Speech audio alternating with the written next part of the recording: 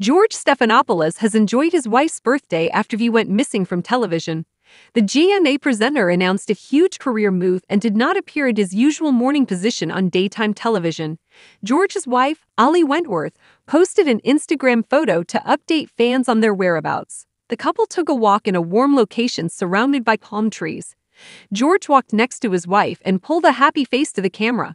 He wore a navy top with a black baseball cap to protect his face from the sun.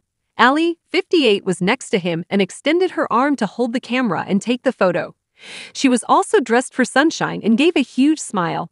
Ali wore a simple black t shirt paired with a light brown straw hat. Her hair was left up to keep her neck cool. Birthday walk, she captioned the photo. Fans left happy birthday wishes in the comments. Where's Georgie? This Instagram post came after George was absent from Friday's GMA show without an explanation.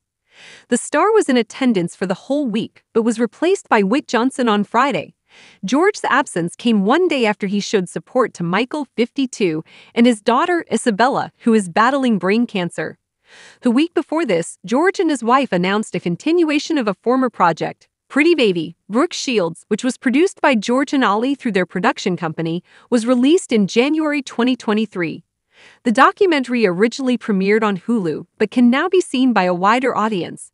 I'm amazed that I survived any of it. Hashtag Pretty Baby tells the moving story of at Brooke Shields discovering and embracing her own identity and agency as she was sexualized while coming of age and rising to stardom, posted George on a social media post alongside a trailer.